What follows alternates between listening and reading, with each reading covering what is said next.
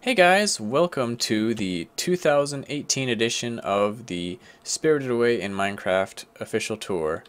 So it's been four years since I last did a tour of this place, so I figured since pretty much everything is completely different and changed and updated, I should probably do another tour, especially for those people who do not have the ability to visit the server and see how it looks. So this is where the movie starts. Basically, Chihiro and her parents are driving in their car to their new house since they are moving. This scene you don't really see these buildings at all, even though they are all based on reference images from the reflections that you see in the car, from the background, stitched together and everything. I think this school, you see it when she is sticking her tongue out the window and you see it in the reflection of the car window. These are billboards that you see on the side. There's a bunch of residential houses and a gas station. Nisek. Here's the bridgestone. So here is basically the title sequence or title screen. The camera zooms up while they go up this road and you see the title Spirited Away right there. And you see all these houses. Each house is fully furnished. We used a lot of house tours, Japanese house tours, to get the layout of these houses correct to the Japanese culture. This right here is one of the few houses that I built. Here's the tatami room. So basically they are driving up this road to get to their house and their house is right here. If you go in you can actually see their moving boxes. But basically they drive here, stop their car right in front of this tree and they see their house but they don't know how to get to it so they decide to take a shortcut. So they go through these woods. And the mom and Chihiro are kind of getting worried because they're going so fast. They bump over this stream here. And then they see something in the distance and they have to put on their brakes and stop. So they stop their car here in front of this creepy statue.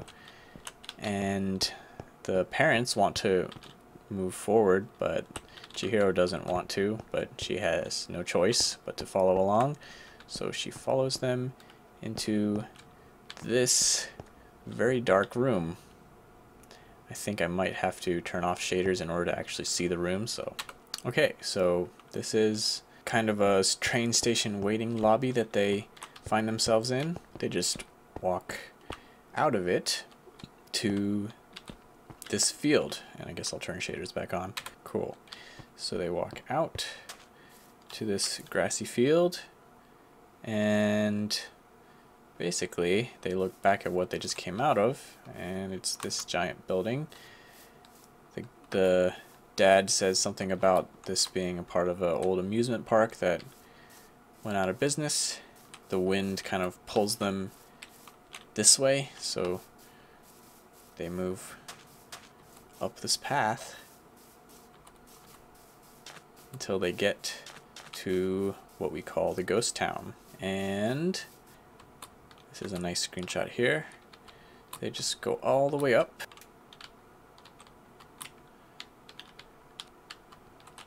The next screenshot you see, I'm going to switch the, the sun direction real quick. So they walk from down there all the way up here. The dad starts to smell something, so they continue onward to this main area. So I keep switching shaders so that it looks uh, the best way that you can enjoy it as. So yeah, all these buildings are uniquely designed. Some of them are based on reference images, but a lot of them you don't even see in the movie, so they had to be just made up. But most of them are these food shops with lots of steam coming out the kitchens. And right here is where Chihiro's parents decide to pig out before actually being turned into pigs. So they look in here, they don't see anyone around, so they decide to just dig in. We've got the the gross looking chickens and these dumplings here that they start swallowing. Chihiro doesn't want to have any of that, so she walks away and walks up these stairs And then once she gets there, she turns to her right and sees the magnificent bathhouse. And uh, it's not fully rendered. Okay, okay. She sees the magnificent bathhouse. And this is really the the main attraction of the Spirited Away world. We render this part out. So yeah, it's uh, gone through many phases. Basically, Chihiro looks down and sees the train below. In the movie, it's right below the bridge, but doesn't make sense for it to be right below the bridge because it would go right through the middle of the bathhouse. So it's over there. And she looks down, sees the bridge, comes back up, sees Haku. Haku's standing. Whoa. She sees Haku. Haku gets very surprised and angry that she's here. He says, You need to go. You need to go now. And it's starting to get dark. So Chihiro turns around and walks back down to the ghost town to find her parents. And now all the lights have been turned on. And there's all these black, transparent looking spirits walking around everywhere. She goes here to see her parents. Her parents have now become pigs. And she gets extremely freaked out and runs back this way all the way down until she gets to the field. But now, the field, okay, wait, it hasn't happened yet. The field, oh, here we go, it's happening. The field gets flooded with water as it gets dark. This is a feature that we added. And this once dark, empty clock tower is now surrounded by all of these buildings. So the clock tower itself lights up and all of these buildings are also here filled with stuff. So yeah. And then, oh yep, and here it is, the boat. The boat comes from from over there and empties out all of these spirits. They come out of the doors and start walking up these steps. So Chihiro is more and more freaked out. She even sees that she is starting to get see-through. So she runs off up this hill past this little house to this spot right here. She crouches in the corner right here. Haku comes from up here, coming down these stairs, and looks over, sees her, gives her a little pellet to keep her from getting too see-through, and then she stands up, and they run off. So they run through this village here. That's just basically a blur in the movie. So you don't actually see any of these buildings. But what you do see is this alleyway right here looking down from the top. You see them kind of go down this way and then you see them from this viewpoint going through this alleyway into this door that he opens with his magic and they go down these stairs,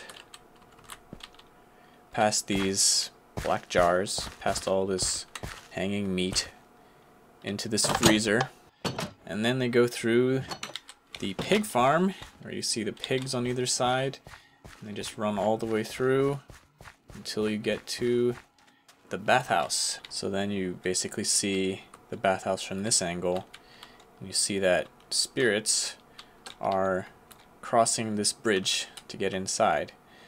And so Chihiro and Haku come through this gate. I think I should light this up a little bit. So they come through this gate. The frogmen are sitting, they're standing here welcoming all the guests. And so Chihiro has to hold her breath to not be seen by all the, the spirits. So she crosses. There's no face standing right there. But then when the frog comes and kind of catches them by surprise. She loses her breath, and then everyone can see her, and so Haku just like dashes through this door.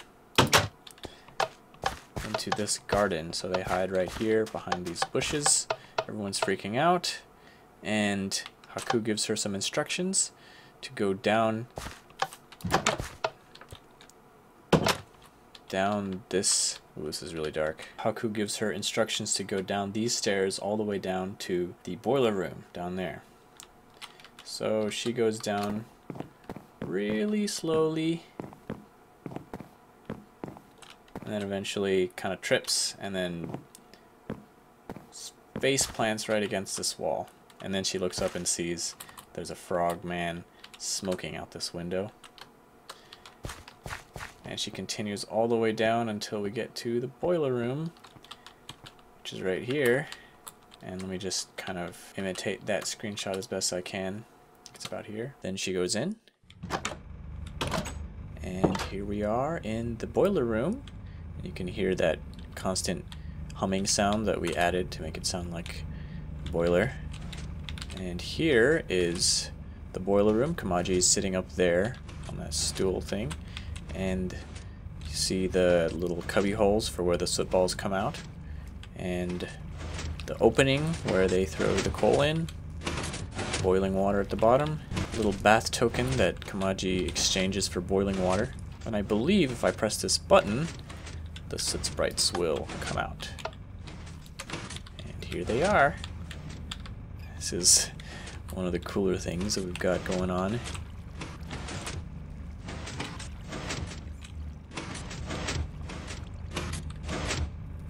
It's really funny how it seems like they're waiting for it to open and they always get it in. I mean, sometimes they don't get it in, but it's completely random. So Lin comes out this door, which is automatic, and she agrees to take Chihiro up to Yubaba so that she can get a job. So they go this way. And here is the atrium. This is kind of the main central shaft where you can access just about everything. There's stairs and doorways and bridges everywhere and it goes all the way to the top. But um, Chihiro follows Lin past all of these gears to this elevator, which is not working right now. Seems to be gone. But basically they, they take this elevator and they go up and then I believe they go up this way all the way until they come out this door and walk to this elevator. And I think this elevator works. So let's try it. Oh, this is exciting. So, all right. Oh yeah, we're going up. That's cool. So I think there's usually a radish spirit here, but I guess he's gone. But yeah, anyway, this is where they see the radish spirit, and the radish spirit kind of follows them across this bridge, and this is where you see the first glimpse of the interior, which is pretty cool. These are all the baths, and we'll see those later but they cross here till they get to this elevator. And this is where Lin has to kind of distract the frogman from finding out that Chihiro's there. Basically, uh, she goes up the elevator. They the door opens to this room or this area where there's a bunch of guests and are all their sandals laid out. But they continue upwards until they get here, which is Yubaba's floor and this is where the the door knocker tells her that she's rude for not knocking. And so Yubaba says to come in.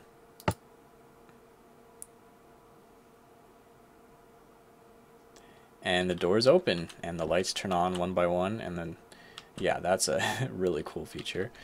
Um,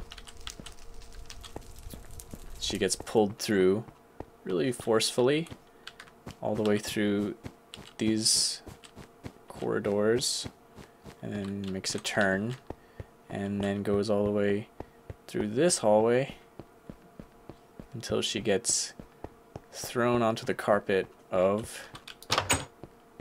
Oh, it's not nighttime anymore. She gets thrown onto this carpet. And so you see her at her office desk. And then here's the, the three heads that if you get close, actually do that. Jump and roll. She basically signs her name away and gets taken by Haku to her dorm area. So let me just teleport there real quick. So this is the room where everyone's saying that she's a stinking human and we don't want to work with her. But Haku is very defensive and says, you guys will get used to her. And so they put her with Lin. And so they go to the women's dormitory where Lin gives her some clothes. They go to sleep, and the next scene actually happens in a different part of the building when the sun's starting to come up. So this is the upper atrium private balcony that Haku, you see him walking up this. I think the screenshot's right about here. And you see him walking all the way up to the top of the entire building. Oops. Where you see Yubaba turn into a bird and get sent off by these three heads and Haku, and she flies off into the distance. So now it is daytime, and Haku kind of tells Chihiro to meet her at the bridge to see her parents. So she basically goes all the way back down to the boiler room. So she looks for her shoes, and the soot balls have her shoes, so she takes the shoes and goes out the door. Ooh water looks nice. And she goes up the way she came until she gets back here. And Haku is waiting for her right here. And they go through this garden area until they get to pig farm. So they descend down here. And I believe they enter through this entrance. So Chihiro comes in and she sees all the pigs and she gets really emotional and so eventually they come back out here and they are munching on dumplings while Haku's kind of comforting her. Then they go back up and when she turns around at the bridge she looks back and sees that Haku is like flying up there as a dragon. So then it starts to get dark again and that's when they go to work so they, everyone gets dressed and they go, they go up these stairs. This is one of the screenshots. So they go up these stairs so they can go to work, which is like right here. I think there's like a area where they can take their employee tokens off the shelf or something like that. Yeah, these things. And now they have to get to work cleaning the floors. So let's see. They're laying out these these cushions and then Chihiro is emptying out the water out here and then she sees no face. So she sees no face out here and then basically lets him in by leaving the door open. And then they get to work on cleaning this bath so this is the main bath area and that's the place where they get their bath tokens and each of these areas have their own bathtubs and this lever releases the water so this thing comes out water comes down fills it up and you can make it go back in also. Yep. Then that whole stink spirit scene happens where they serve the, the stink spirit. Everyone's kind of watching from afar. Yubaba's like up here and uh, everything is just getting really muddy and dirty. She sees that there's like a, a lot of trash inside of him, so they all work to pull it out. The stink spirit turns into a river spirit and thanks her, gives her one of those medicine ball things, and flies out of this door to the outside world. So then they all go to sleep, and then the next morning, when they would usually all still be asleep, Chihiro wakes up in her bed and sees that everyone is already up. And so she goes outside, sees that the the boiler thing is already uh, going, and then she sees that Haku is getting attacked by little paper birds. And so this is a is Haku getting attacked by paper birds. So Haku gets led into this room and then flies out all the way up to the top. And so she realizes she needs to go up there and save him. So so she goes up these stairs So this is where No Face, the new guest, comes up the stairs, and he's huge, and, and all the workers are on either side with their donation boxes, and No Face comes here, and Chihiro comes out. No Face gives her a lot of gold, but she rejects it, and then No Face eats two people, and then everyone freaks out, and Chihiro moves on to try to get upstairs. So this is the window that Chihiro goes out of. She just pops out. Oops she just falls out here, bravely crosses this pipe, which in this case is a bit thicker, but she crosses this pipe, and the pipe kind of breaks, and she goes up this ladder all the way until she enters this bathroom. So this is Yubaba's bathroom, and there's a mirror here, which is an exact reflection but of course it is just a copy of the room on the other side. So she goes through this other mirror hallway and ends up in baby's room.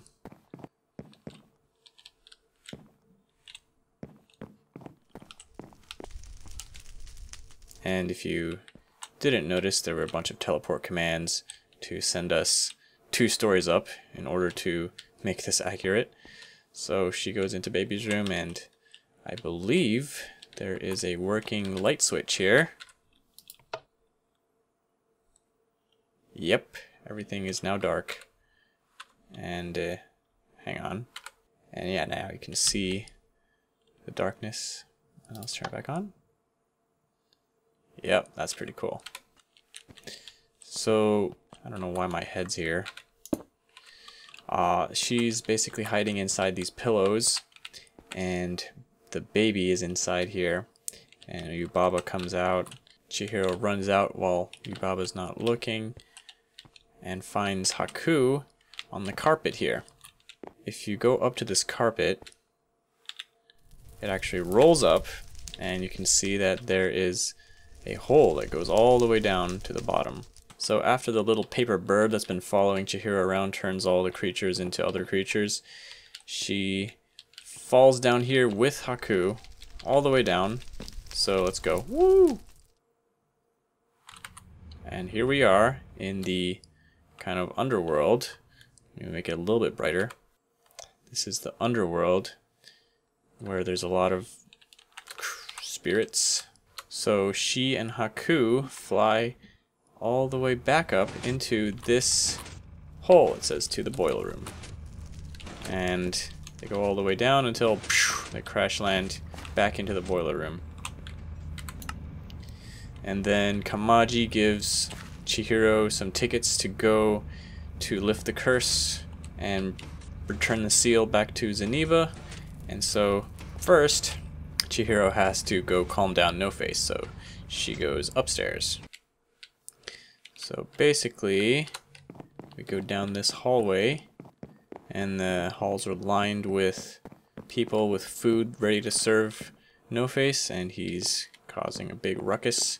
Chihiro shows up, and then they put her in this room alone with No Face, and there he is. You can see his mouth and his legs and his food everywhere. So then she gives him the medicine ball. He throws up, starts chasing her, and chases her all the way back out this way. And they go down a bunch of stairs. I think actually he climbs down to catch her. And they go down they go down this stairway. And then this stairway. And then this stairway. And then this stairway. And then this stairway. And then finally crashes against this elevator thing. And that is when No Face throws up the two people that he ate and continues onward this way through this kitchen. And so you see them going through this kitchen. He follows her outside. So they go outside. Chihiro goes all the way down to where the boat is and looks like this is the boat. Haven't seen this before. And No Face falls down that pipe and swims after. But eventually they get to the train. So yeah, we've got a fancy system that plays a song while you while you ride the the minecart. So I guess I'd better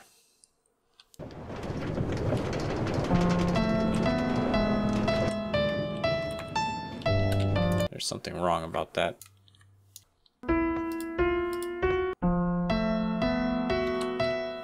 Ugh.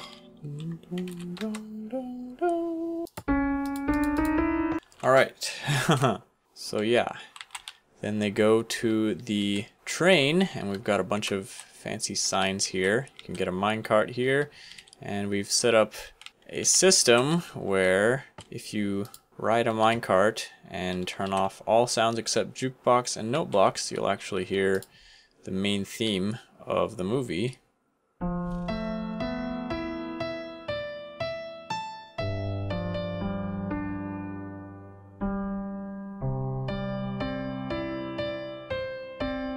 Sounds pretty okay. I like how it sounds. Yeah, so here we are, passing this, passing this section right here where there's like a child and their, and their father standing there. I think at some point you see the island. Here it is. You see this island here passing by like that.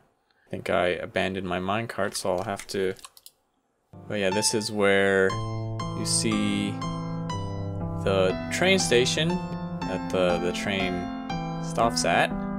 Eventually they make it to the swamp, so I'll have to make it start to get dark here. So yeah, starting to enter the swamp area. So before we get to the swamp, we actually have one cutscene where we see Yubaba sitting at this chair in her kitchen and the baby is eating chocolates here and the head workers are sitting here. Kind of looks like this. And then Haku comes from this side of the room and comes in and tells Yubaba that something has been taken from her. And she realizes that baby is not baby and baby is actually missing. So she goes crazy heads back to baby's room looks for baby can't find baby and then Haku says something like, we'll give you baby back if you set Chihiro and her parents free. And so she agrees to do it on the condition that she can give Chihiro one final test. And so now we go back to the swamp. And here we are at the swamp. I think I'll have to render out some chunks first. Okay, so the train stops here and they make their way into the swamp where Zeniba lives. And we're about to find out right now if the lantern's working. Oh, I think it is.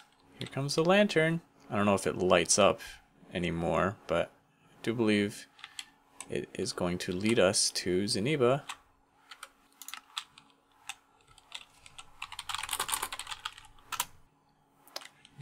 Great. So the lantern will bow to us and then lead us all the way through the swamp until we reach the cottage.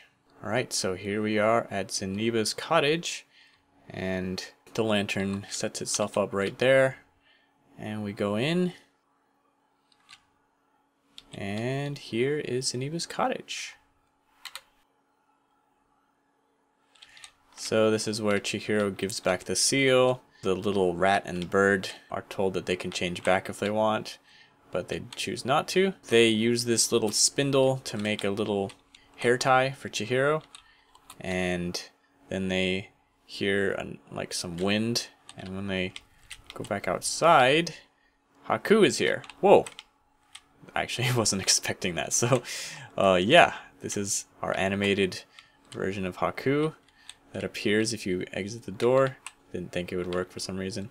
Uh, and then Chihiro rides Haku all the way back to the bathhouse.